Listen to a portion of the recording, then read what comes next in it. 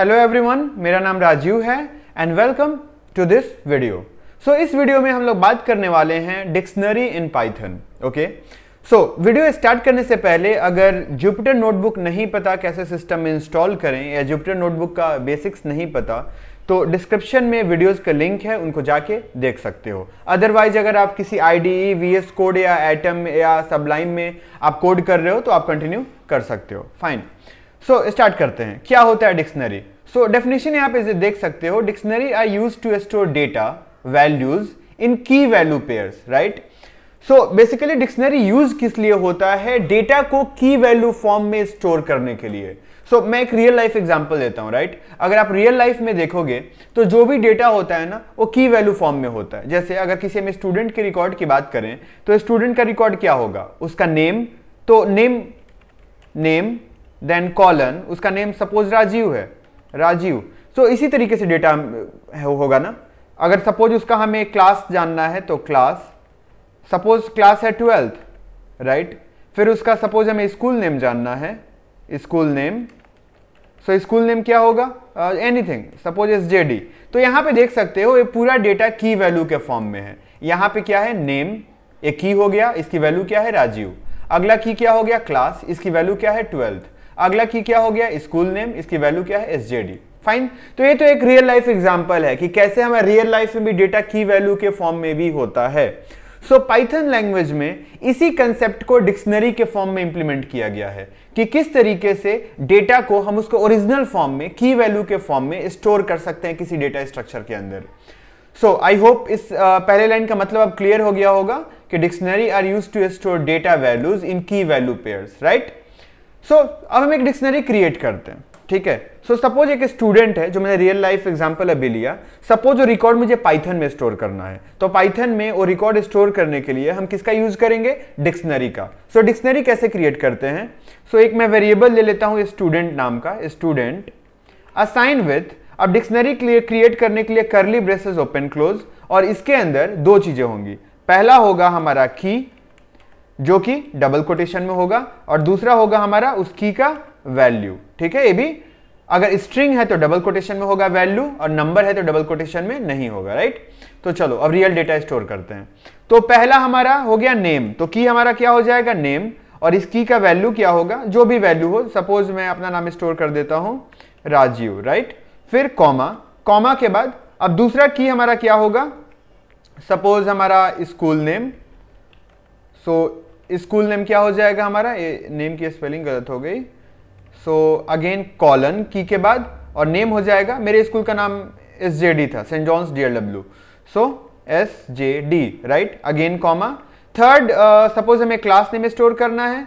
So class sorry so class और यहाँ पे हमारा क्लास क्या हो जाएगा?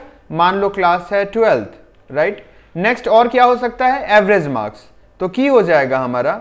एवरेज मार्क्स और इसकी वैल्यू हो जाएगी आ, मान लेते हैं हम 67.5 हालाँकि मेरा इससे भी खराब था बट ठीक है एज्यूम कर लेते हैं। Then is a student intelligent मान लो एक की है जिसमें क्वेश्चन है कि इज़ स्टूडेंट इंटेलिजेंट और इसका आंसर होगा वैल्यू होगा या तो ट्रू या तो फॉल्स तो मैं यहाँ पे ले लेता हूँ इज़ स्टूडेंट इंटेलिजेंट हालाँकि एक की नेम बहुत बड़ा हो गया बट ठीक है एग्ज़ाम्पल के लिए चलेगा, ठीक है? और इसका, मैं थोड़ा इसको शॉर्ट कर लेता हूँ। इज़ इंटेलिजेंट कर लेता हूँ। इज़ इंटेलिजेंट राइट और इसका वैल्यू हो जाएगा, मेरे केस में ऑब्वियसली ट्रू होगा राइट सो अगेन ट्रू क्या है? हमारा बुलियन वैल्यू है, जिसको हम डबल कोटेशन में नहीं लिखेंगे। तो ये हमने क्रिएट कर लिया अपना डिक्शनरी अब देखो, इस डिक्शनरी में पूरा डेटा हमारा की वैल्यू के फॉर्म में स्टोर है राइट तो इस सेल को मैं एग्जीक्यूट कर देता हूँ, ठीक है? मैंने सेल को एग्जीक्यूट कर दिया।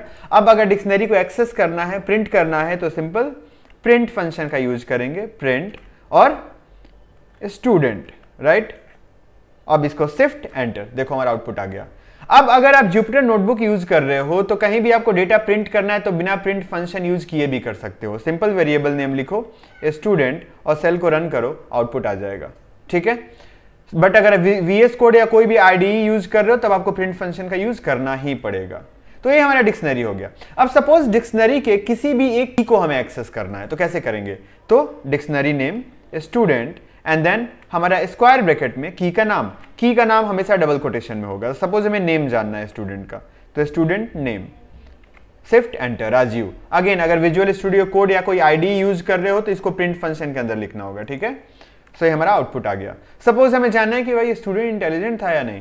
तो student right and then square bracket में इज़ इंटेलिजेंट सो रन करते हैं सेल को। देखो true okay so I hope clear हो गया होगा कि कैसे हम डिक्शनरी को क्रिएट करेंगे राइट right? दूसरा, कैसे हम पूरी डिक्शनरी को एक्सेस करेंगे? एंड थर्ड कैसे हम डिक्शनरी के किसी एक पर्टिकुलर की को एक्सेस करेंगे राइट right? Okay okay. अब इसके अलावा आप देख सकते हो कि यहाँ डेफिनेशन में सेकंड लाइन में दिया हुआ है। A dictionary is a collection which is ordered changeable and does not allow duplicates value तो मतलब क्या हुआ? तीनों का मतलब समझते हैं।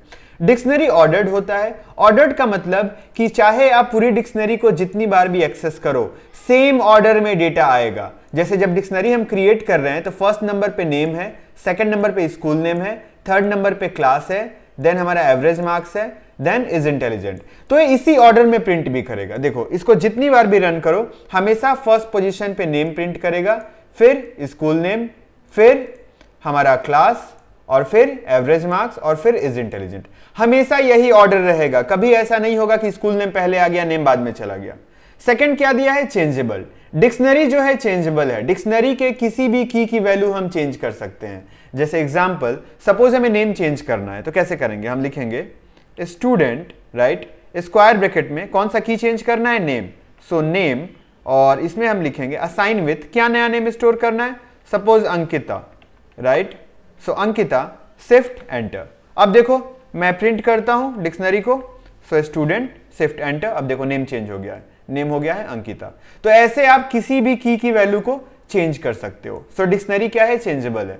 थर्ड क्या है? डज नॉट अलाउ डुप्लीकेट्स अब याद रखना डिक्शनरी के अंदर सेम नाम का दो की नहीं हो सकता। अगर सेम नाम का दो की लोगे तो क्या होगा? जो सबसे बाद में की होगा वो रिप्लेस कर देगा उसके पहले वाले को। जैसे एग्जांपल लेता हूँ। यहाँ पे स्कूल नेम एस जेडी है। मान लो मैं एक और की ले लेता हूँ सेम नाम का। S C L N A M E और यहाँ पे मैं स्कूल नेम दे देता हूँ। केंद्रीय विद्यालय। केंद्रीय विद्यालय राइट अब मैं शिफ्ट एंटर ठीक है? एरर है ओके सॉरी मैंने यहाँ पे कॉमा नहीं लगाया है, देखो, इसलिए एरर आया।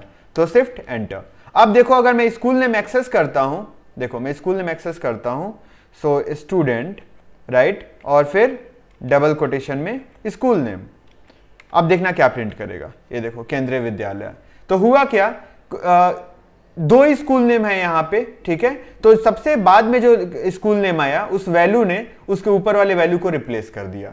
तो डुप्लीकेट्स अलाउ नहीं है डिक्शनरी में। सो आई होप ये डिक्शनरी के बेसिक्स क्लियर हो गए होंगे। अब कुछ चीज़ें देख लेते हैं। अगर आपको डिक्शनरी का लेंथ जानना है तो क्या करोगे?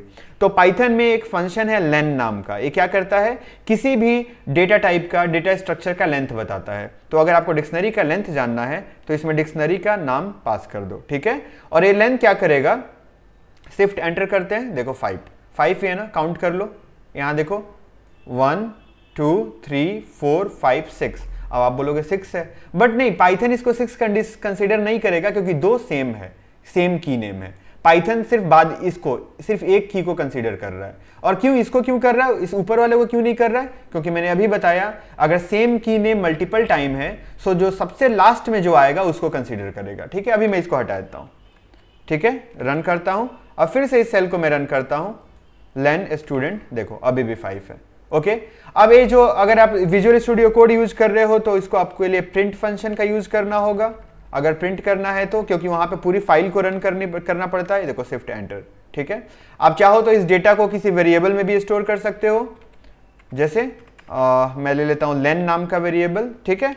और शिफ्ट एंटर अब अगर लेन को मैं प्रिंट करूँ प्रिंट लेन तो हमारा लेंथ बता देगा। आप चाहो तो नॉर्मली लेन लिख के एग्जीक्यूट करोगे, तब भी जुपिटर नोटबुक में आउटपुट आ जाएगा। ओके इसके अलावा अगर हमें डिक्शनरी का टाइप जानना है, हमें पता है डिक्शनरी है बट सपोज़ आपको टाइप चेक करना है तो उसके लिए पाइथन में फ़ंक्शन है टाइप बिल्कुल लेन की तरह काम करता है। इसके अंदर जो भी नाम आप डिक्शनरी का पास करोगे, उसका टाइप बता देगा। तो मैंने पास कर दिया स्टूडेंट अब देखो स्विफ्ट एंटर क्या टाइप आया है? Dict so I hope clear हो गया होगा डिक्शनरी क्या होता है, कैसे क्रिएट करते हैं। अब एक चीज़ और देख लेते हैं डिक्शनरी में इंपॉर्टेंट बेसिकली डिक्शनरी के अंदर ये जो वैल्यूज़ हैं, इन वैल्यूज़ की जगह ज़रूरी नहीं है सिर्फ़ स्ट्रिंग या फिर हम, या नंबर्स या बुलियन वैल्यू ही रखेंगे।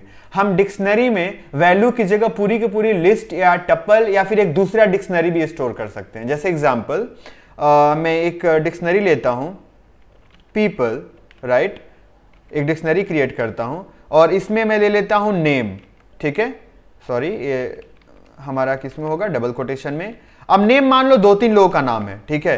तो भाई दो तीन लोगों का नाम कैसे आप स्टोर करोगे? उसको लिस्ट में रखना पड़ेगा। तो लिस्ट कैसे बनाते हैं? स्क्वायर ब्रैकेट में। अगर नहीं पता लिस्ट क्या होता है तो डिस्क्रिप्शन में वीडियो का लिंक है, जाके लिस्ट देख सकते हो। So square bracket open close अब इसके अंदर जितना भी नाम स्टोर करना है, कर लो। जैसे अनुज, पहला हो गया हमारा देन अंकित, दूसरा हो गया देन राजीव, हमारा थर्ड नेम हो गया, ये पूरा लिस्ट हो गया। फिर कॉमा अब अगेन मान लो मार्क्स स्टोर करना है। सो मार्क्स अगेन ये डबल कोटेशन में होगा। सो मार्क्स अगेन तीन लोगों का मार्क्स है तो मैं लिस्ट लेना पड़ेगा। तो सपोज़ किसी का मार्क्स है 56.89 अब ये नंबर है तो डबल कोटेशन में होगा नहीं। किसी का मार्क्स है 34.90 किसी का मार्क्स है 67.99 ओके फिर कॉमा अब मान लो हमें एवरेज मार्क्स स्टोर करना है सबका। So A V AVG marks M A R K S right तो कॉलन अब मान लो सबका मार्क्स का एवरेज है तुम्हारा 56.67 राइट तो ये हमारा डिक्शनरी क्रिएट हो गया। अब अगर आप प्रिंट करना है डिक्शनरी को सो ये देखो शिफ्ट एंटर डिक्शनरी हमारा प्रिंट कर दिया। अगर नेम जानना है तो स्क्वायर ब्रैकेट में नेम ये देखो सॉरी ये क्या हो गया? नेम की मैंने स्पेलिंग बेसिकली गलत दी है। So N A M E shift enter देखो, आ गया राइट अब मान लो सिर्फ़ आपको नेम में पहला नाम जानना है तो क्या करोगे? तो पीपल नेम और उसके बाद एक और स्क्वायर ब्रैकेट में कि बेसिकली जो डिक्शनरी होता है ना, उसमें इंडेक्स होता है। पहले एलिमेंट का इंडेक्स ज़ीरो होता है, दूसरे का वन फिर टू तो आपको मान लो पहला नाम जानना है तो यहाँ पे पास करोगे ज़ीरो तो ये देखो क्या होगा शिफ्ट एंटर अनुज। ठीक है? अगर मान लो आपको नेम में जो लिस्ट है हमारा नेम का, उसमें आपको वन इंडेक्स वाला नाम जानना है तो वन पास कर दो। तो क्या आ गया? अंकित। उसी तरीके से अगर आपको मार्क्स जानना है तो पीपल और देन यहाँ पे हम मार्क्स राइट सो आ गया। अब मान लो आपको अंकित का मार्क्स जानना है तो अंकित वन इंडेक्स पे है तो उसका मार्क्स भी इस वाली लिस्ट में वन इंडेक्स पे होगा। यानी 34.9 तो कैसे करेंगे हम? पीपल मार्क्स और उसके बाद यहाँ क्या दे देंगे? वन ये देखो, अंकित का मार्क्स आ गया 34.9 तो इस तरीके से डिक्शनरी में हम जो हमारे की की वैल्यूज़ होती हैं, उनकी जगह हम लिस्ट को भी रख सकते हैं। सो आई होप क्लियर हो गया होगा कि पाइथन में डिक्शनरी क्या होता है और उसके सारे बेसिक्स मैंने यहाँ पे एक्सप्लेन कर दिया right so thank you for watching this video अगर इस वीडियो ने कुछ कंट्रीब्यूट किया तो चैनल को सब्सक्राइब करो एंड वीडियो को लाइक करो. Thank you